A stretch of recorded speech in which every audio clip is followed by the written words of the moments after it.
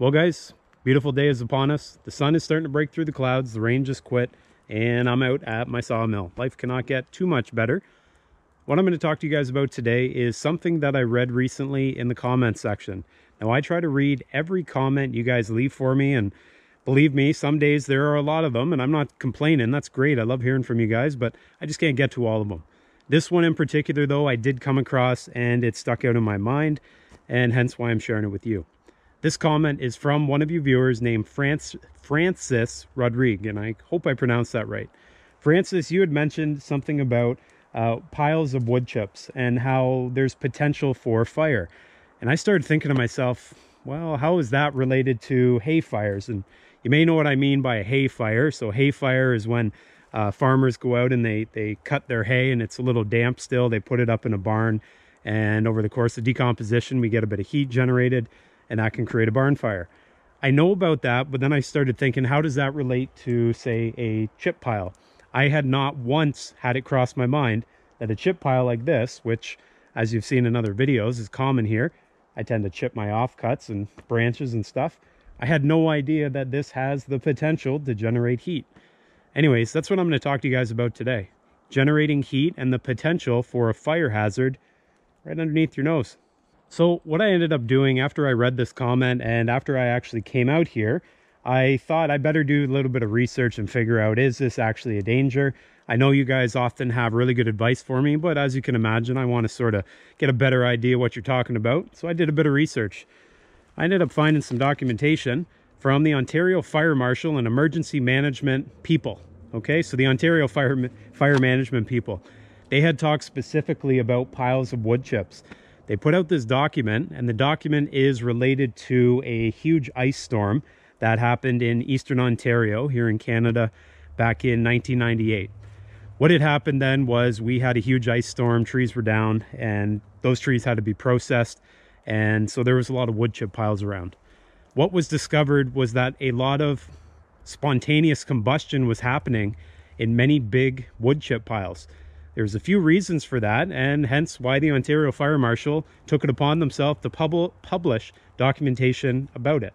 So, what does it say? Well, I read through this, and basically what it says is limit your pile sizes. So when you have wood chips like that, limit the sizes. Avoid compaction of the pile. So don't get it too high. Don't stack it on top of one another.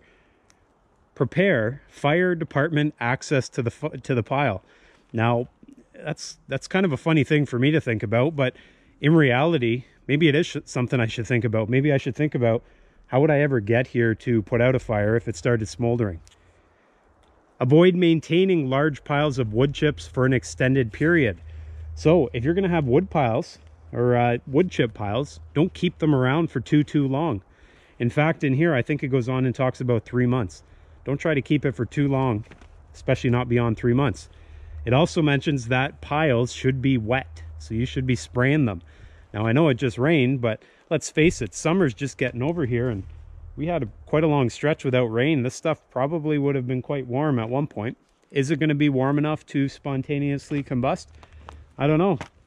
Check this out, though. It just rained, right? This pile, if I were to dig my hand into it, it's actually, and I'm not joking here, I'm not just blowing smoke, no pun intended, I'm putting my hand there. I'm probably only about four inches, five inches under the top of the pile. It is warm. I'm getting deeper. Honest to goodness, it is getting warmer. I don't know if you guys can see that. You guys see that?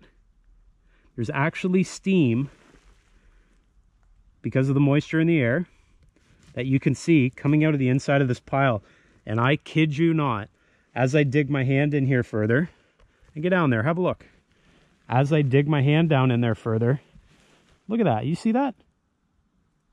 You guys see the steam? That's not my breath. That's coming out of the pile.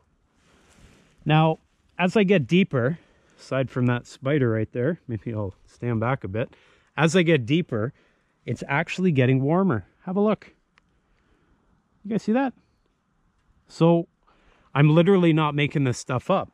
And when I read that comment by Francis, I was I was thinking, oh yeah, being very cautious and I appreciate it, but maybe it has no application here. Until I came out here and I dug my hand in there And then I read that literature over there and I started thinking to myself, I got to be more careful. So this is a small pile. Like, look at this pile here. How big is that? What is that? Three and a half, four feet high? Four feet high, and I don't know, covers an area here, what, 100 square feet? Nothing, right? Very, very small. Is this enough to cause a spontaneous combustion where enough heat is generated in a pile to cause a fire? Well, hard to say, right? Whole bunch of variables that come into play here. What the pile is made of. The literature suggests that piles of wood chips that have a high concentration of bark in it actually can combust faster or more likely to combust. The size of the pile is a big factor. The type of wood, how often it gets rained on or how often it gets wet, whether the pile gets higher and higher and higher. Anyways, those are factors you got to consider. And so this is quite alarming to me and why I'm telling you. So I have an understanding what's going on here. Now, when I say understanding, I mean scientific understanding. There is bacteria that is decomposing various parts of this wood and all the debris that's in there. It is said, based on this literature, that that bacteria, over the course of a two-week period, can potentially get the temperatures inside that pile to 66 degrees Celsius. Now, I'm going to tell you right now, the outside temperature here is about 10 degrees Celsius. When I reach my hand in there, I'm going to say it's probably 25, give or take. Like, it's warm.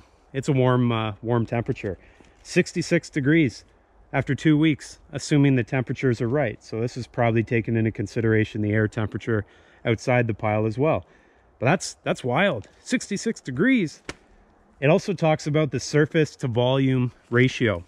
And what that's referring to is, if you guys have a look here, when I pick this stuff up, these chips have an overall size to them, right? A length, a width, a height. Now this is called the surface area. The surface area changes based on what you've got.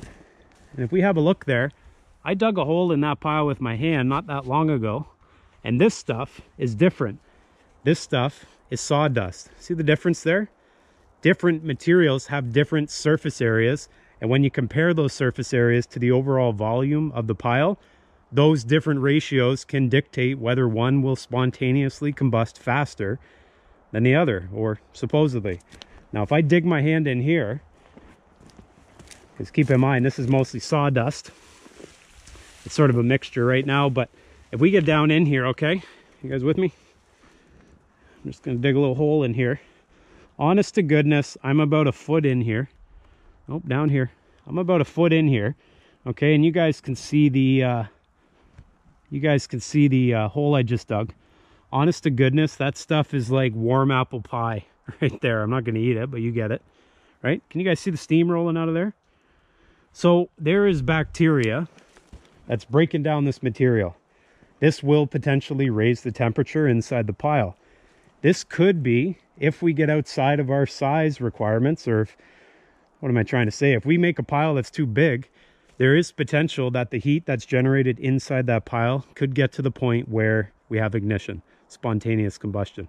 Now, the Ontario Fire Marshal and emergency management people and their documentation here they suggest that there are two basic types of storage of these wood chips and sawdust and that. There's a permanent storage, so we're talking about maybe it's a uh, commercial business and they've got wood chips piled up and they sell it or who knows. And then there's a temporary setup. This is a temporary storage setup.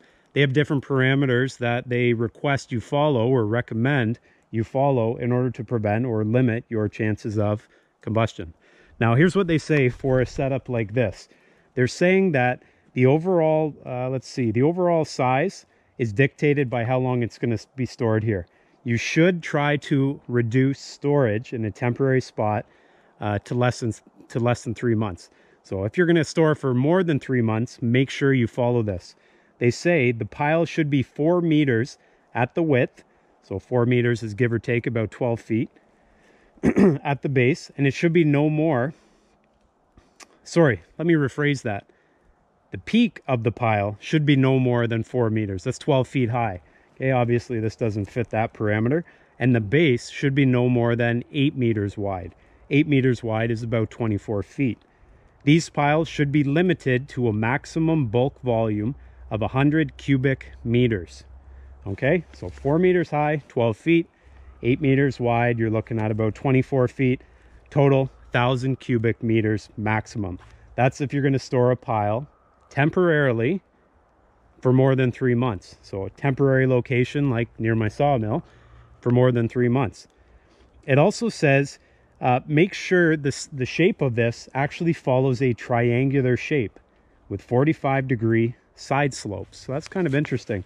So this obviously doesn't really form a shape, but what they suggest is if you need to form a shape to maintain the safety, keep it as a triangle. You guys know what a triangle looks like and keep the sides angled at about 45 degrees up to the peak. Quite interesting and definitely nothing I would have known about without coming across this literature. Now that literature also suggests that if you are maintaining a thousand cubic meters of volume and you're maintaining eight meter wide base, four meter high uh, peak, what that's going to equate to is approximately a 67 meter long length. So eight meters wide, four meters tall, and 67 meters long. If it's maintained in somewhat of a triangular shape, and I don't know how I would do that with my tractor, but let's say it was, that'll give you approximately a thousand meters squared. They suggest that being the maximum volume you keep in any one spot. And they also talk about some things that even if you're maintaining those dimensions, you look out for. Look out for compaction. So don't don't bash the thing down here and try to make it take up less room because compaction could lead to uh, a greater fire danger. They also talk about periodic wetting. So wetting down your pile, and that never crossed my mind once, but it does now. Wetting down your pile with something more than simply just rain if it's really dry out and making sure that you're periodically ch checking it for uh, temperature. Well, guys, I learned something new, and I want to thank you for commenting there, Francis, and everyone else who's going to share stories and explain some of the experiences they've had around spontaneous combustion. This is potentially a game changer, not only for me, but for many of you who maybe didn't know about this. As I said, I had a solid understanding of putting away wet hay and the dangers there, but I had no idea that applied to piles like this. Now, bear in mind, these are small piles. You guys saw how the temperature is quite noticeable. If I weren't paying attention to this, and let's just say I got carried away and I let it pile up for years, well, maybe I'd have a problem. Would it be a problem in this small pile? the odds are probably in my favor, but let's face it. If I were to have a fire out here, and you guys look around here, there is no shortage of kindling. These are red pines, and that's probably a good six inches, maybe eight inches of, uh, of soft uh, pine needles on the ground there. A fire would devastate the entire forest, and that would pretty much be the end of my sawmilling. So thanks for sharing that with me. And if you guys have any additional information to share, stories, I'd love to hear about it down below in the comments. As always, you guys be well out there, be safe, and I'll see you next time.